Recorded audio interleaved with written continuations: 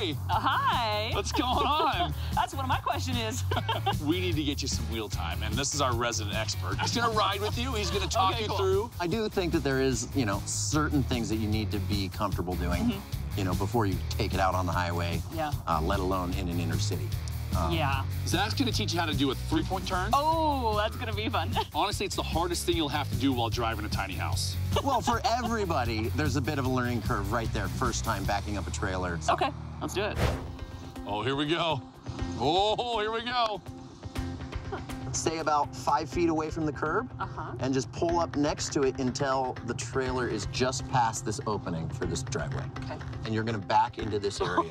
Okay.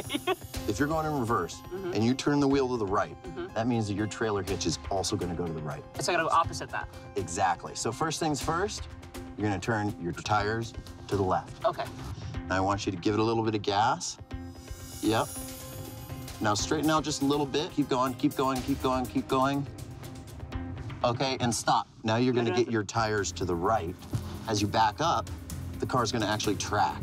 Looking good. Okay, release. Not quite as hard to the right. Now just send it all the way back. All right.